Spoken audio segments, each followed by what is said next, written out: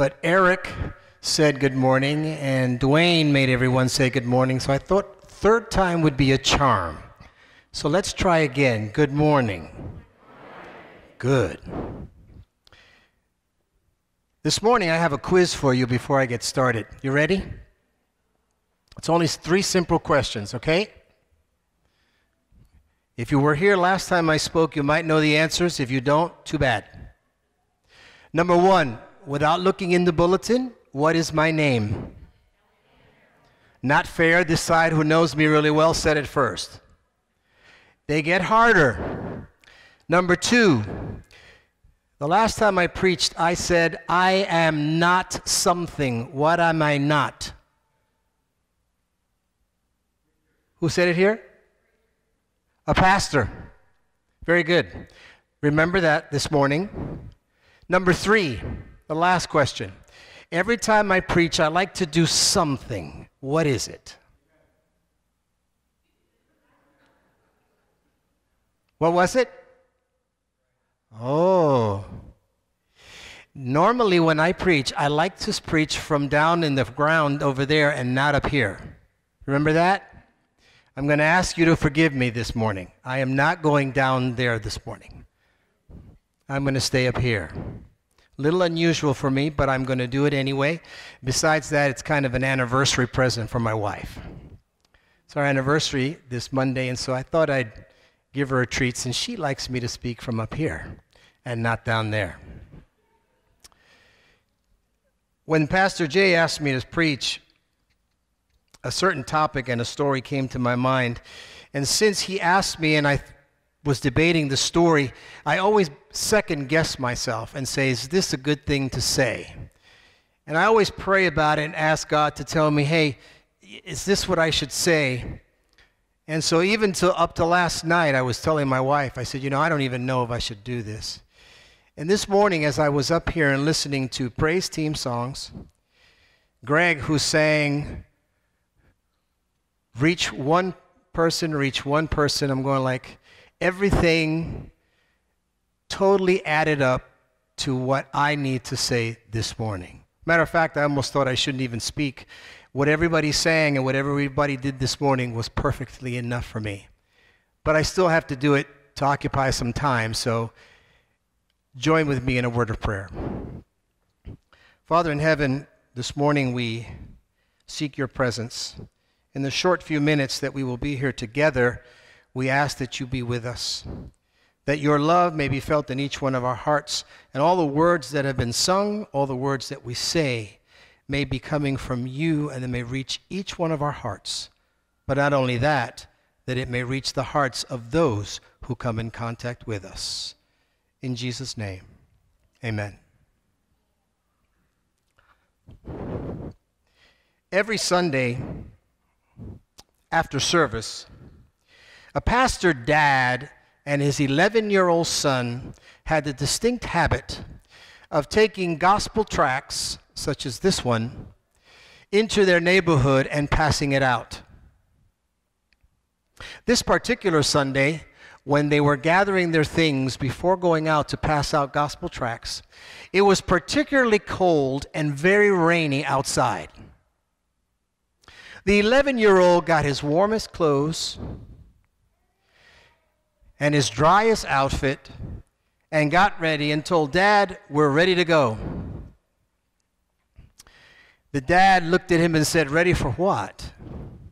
He said, Dad, it's time to go out into town and pass out our gospel tracts.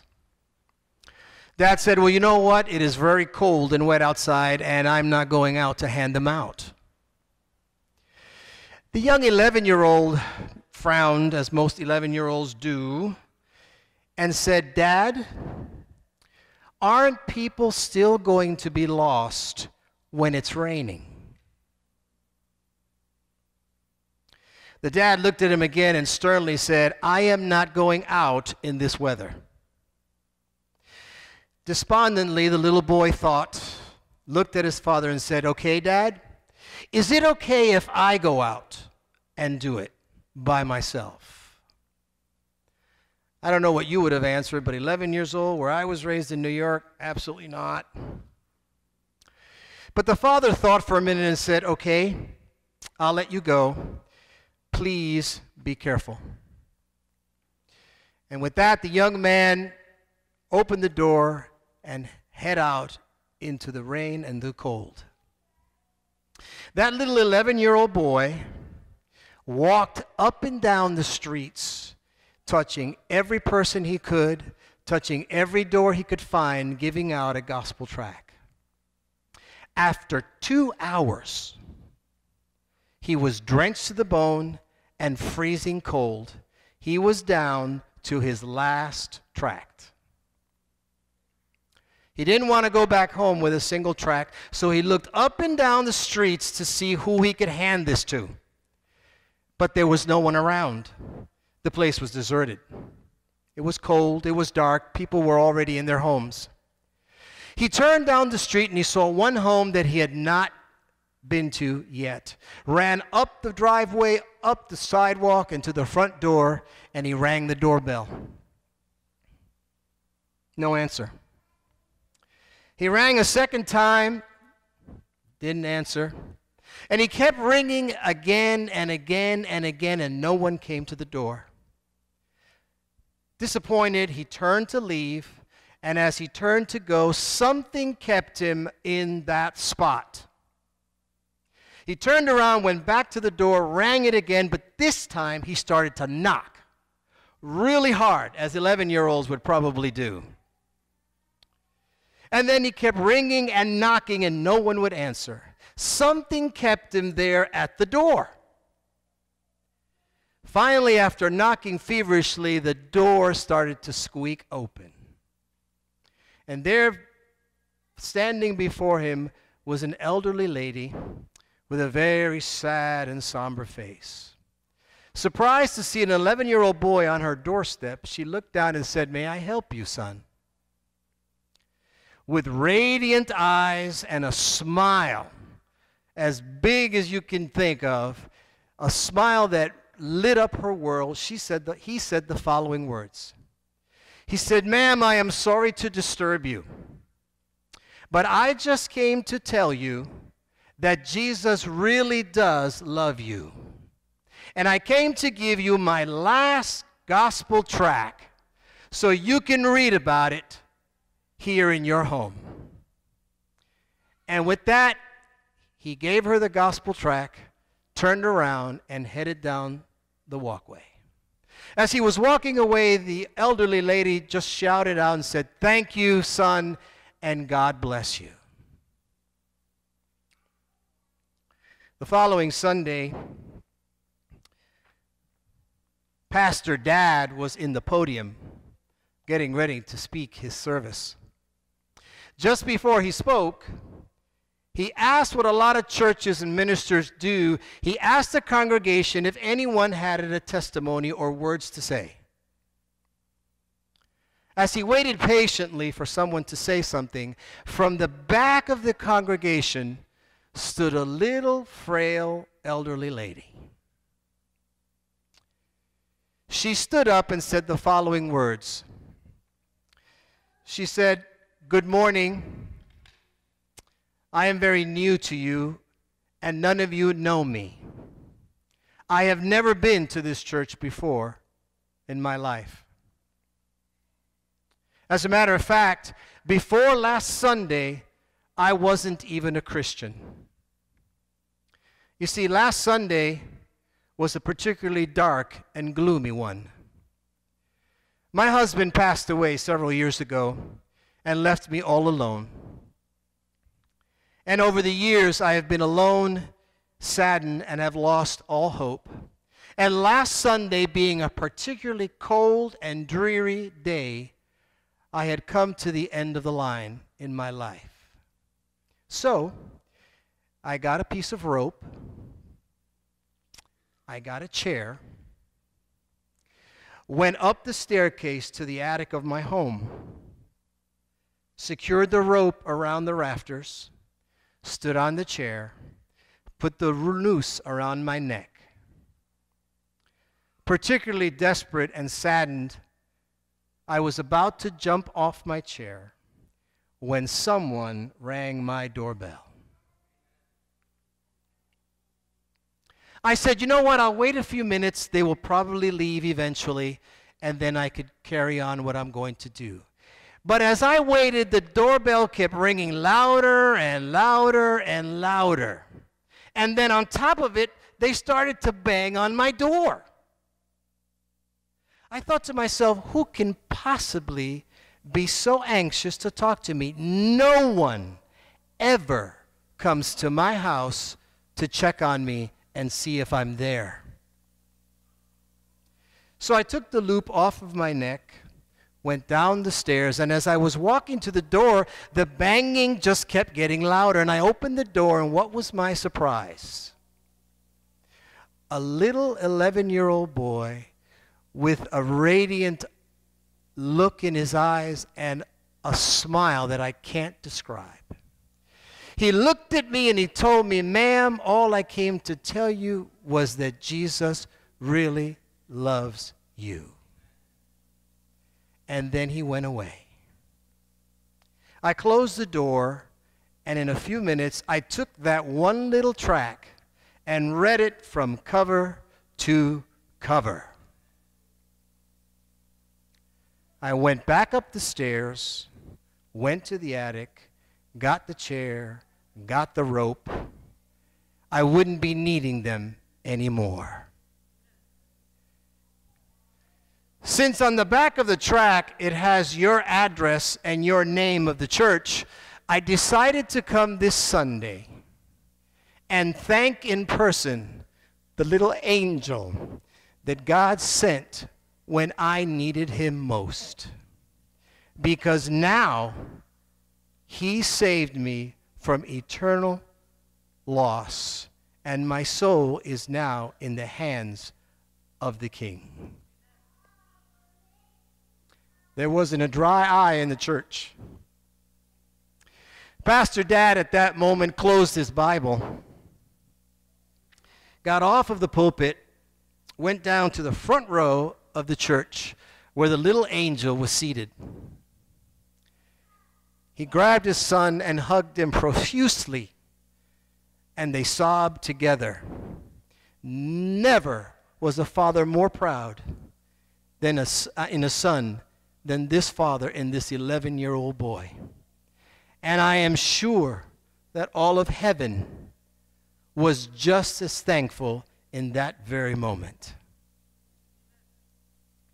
Now, I could stay here for hours and discuss the importance of this story.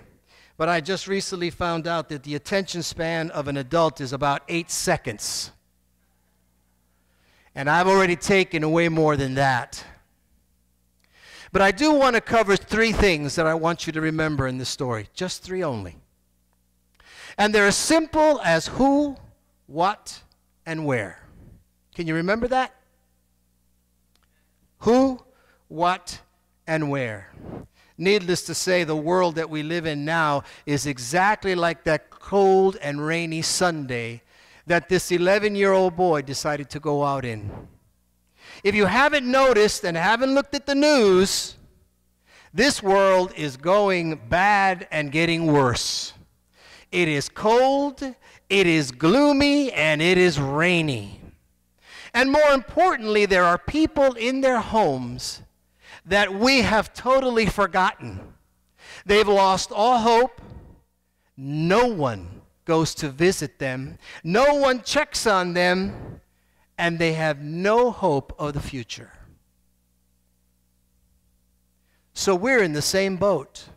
And even the pastor in this story decided that he didn't want to get wet or cold. But there are people who are still going to be lost in the rain. Jesus, since the beginning of time, has only had one goal in his life, and that is to reach every single individual in this planet with the plan of salvation. There are only three things that are needed a who, a what, and a where. The first two aren't very hard. The who. Who does Jesus need to take this message out into a cold and gloomy world. In the book of Isaiah, in chapter 6, verse 8, when Isaiah is standing before God, God asks, Whom will I send, and who will go for me? Isaiah answered, Here am I, send me. The trick of the story, and this is what I want you to remember it doesn't matter who goes and takes this message out into the world. If you think that it takes an adult with an education, a degree, it takes you to being the pastor, the elder, the ministerial secretary, it doesn't take anybody except an individual who wants to tell people that Jesus actually loves them. It could be as simple as an 11 year old boy with a simple gospel track. So, who is it that should go? Who's the messenger? Every single one of us, independently of who you think you are. The what? What is the gospel message? If you don't know that one, I don't know what you're doing sitting here. John 3:16 For God so loved the world that he gave his only begotten son. That's not a secret. It's been the same message for years. That is what we are to take to the people out there. And this is salvation that they know you the one true God and Jesus Christ who saves us. The third one is the harder one, and this is the one I want you to listen to. The third one is the where. You have a messenger, you have a message, you need a location.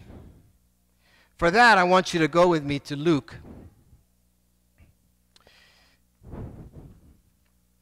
Luke chapter 14.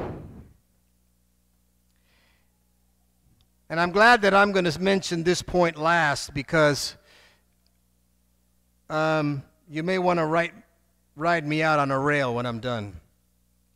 Luke chapter 14, starting with verse 15. One of the dinner guests, on hearing this, said to him, Blessed is anyone who will eat bread in the kingdom of God. You have it? Starting with verse 16 now. Then Jesus said to him, Someone gave a great dinner and invited many. At the time for the dinner, he sent his slaves to say to those who he had been invited, Come, for everything is ready now.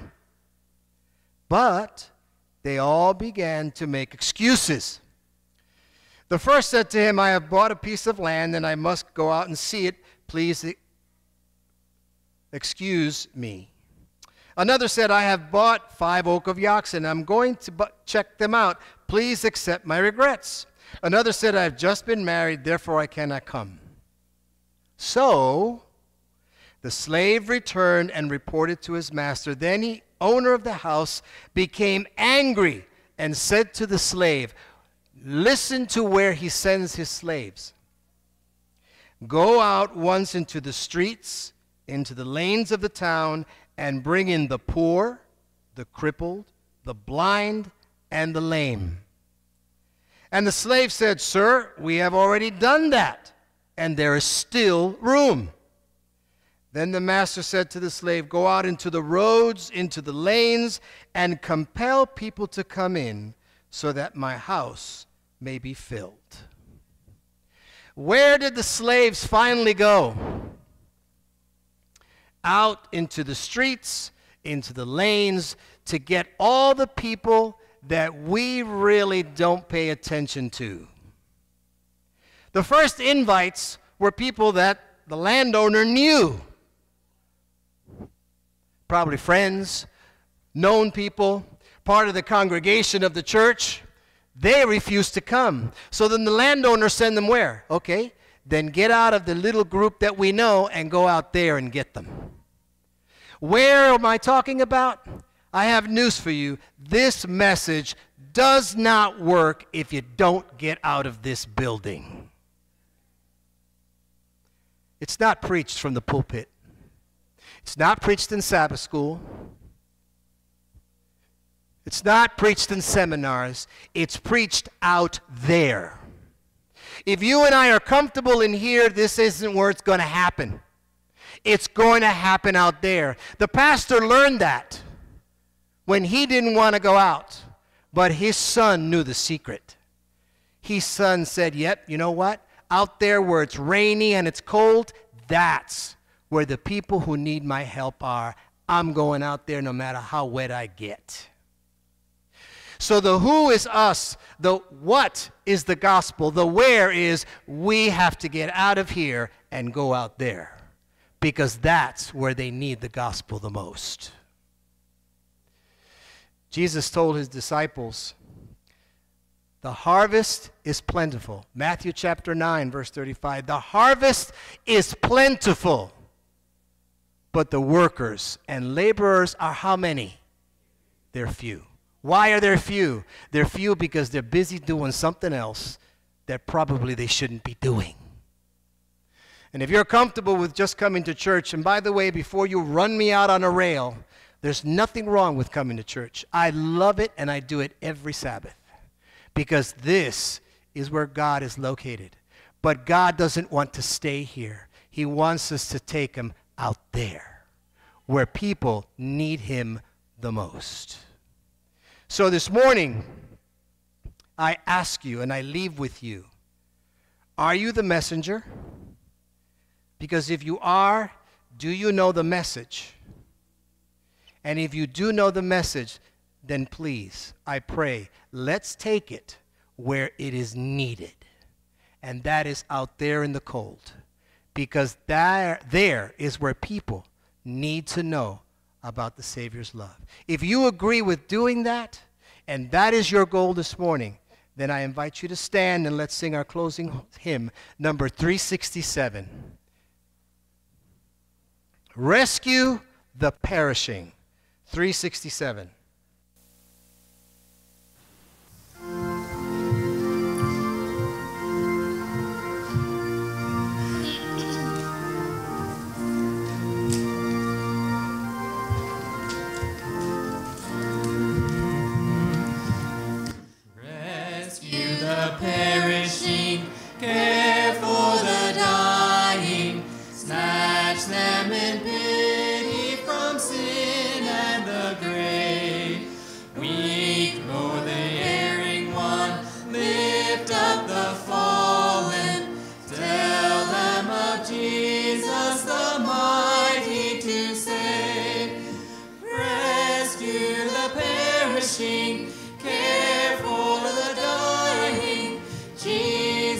is merciful, Jesus will save.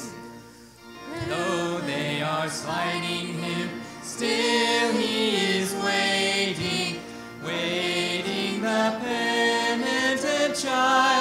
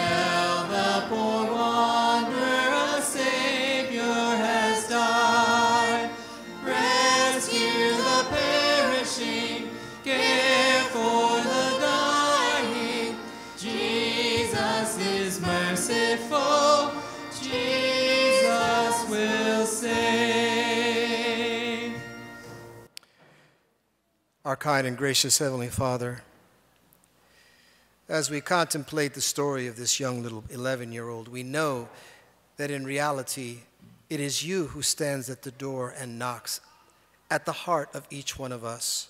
And you persistently call us.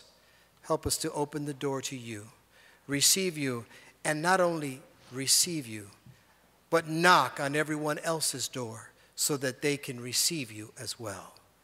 We thank you for your love. We thank you for your salvation. Help us to walk with you each day and always. In Jesus' name, amen.